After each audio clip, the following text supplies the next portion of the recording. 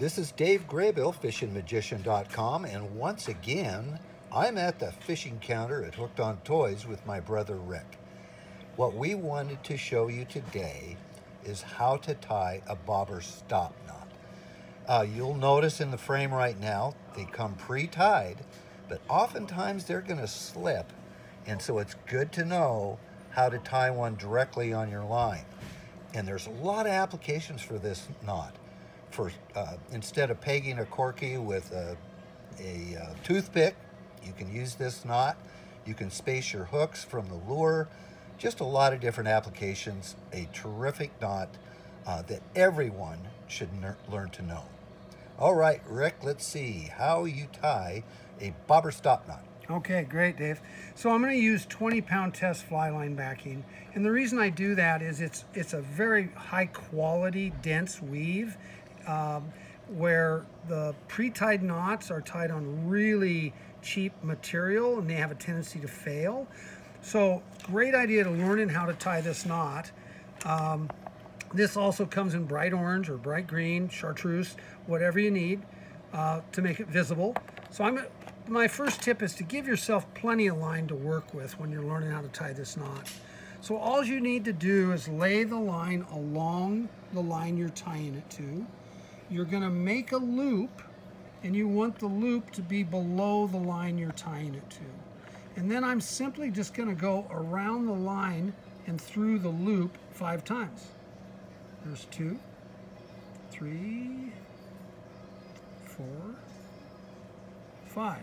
Now I'm going to grab both ends of that 20 pound test fly line backing and I'm going to pull. And as you can see, if it starts to stack up weird at all, just spread it out.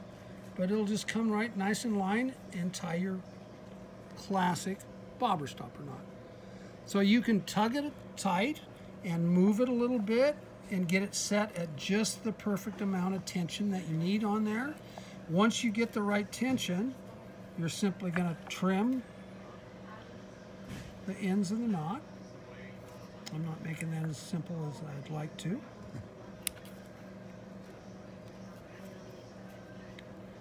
And as you can see, that's a lot easier than having to thread on a pre-tied knot.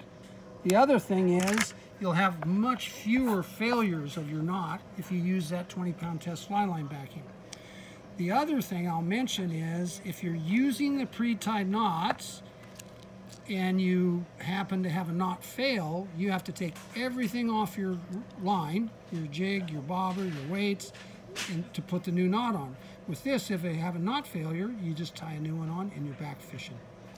Exactly, and there are times, you know, we started off using these primarily for steelhead fishing to adjust our bobber depth. And, you know, if you move them around a lot, you know, depending on weather conditions, sometimes they fail, even the ones we tie ourselves. Yes. And so it's so easy to just very simply tie a new one on. And as you say, Rick, it saves you a ton of time if you ever have a knot that becomes too loose or too tight to make an adjustment.